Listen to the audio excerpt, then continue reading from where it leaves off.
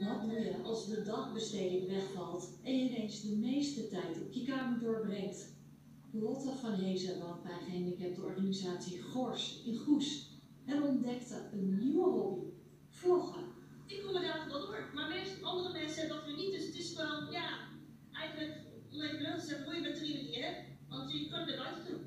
Elke week maakt ze nu een vlog over de dagelijkse dingen in haar leven. Te zien op YouTube.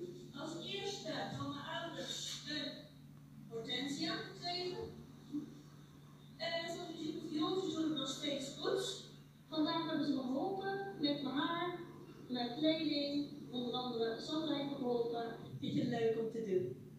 Ja, misschien ooit beroemd worden, ik weet het niet, ik hoop het wel. Maar zo'n vervolgens als ik volg, zal ik nooit krijgen. Maar ik zit op de internet OLE, dus wie weet hopelijk daar dit misschien weer op is, hoop ik.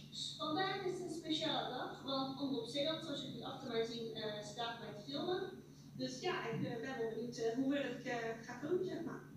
Het is een leuke tijd, maar mensen houden vol. We komen met z'n allen uit. Dit was het vlog. Ik hoop dat je het leuk vond. Laat even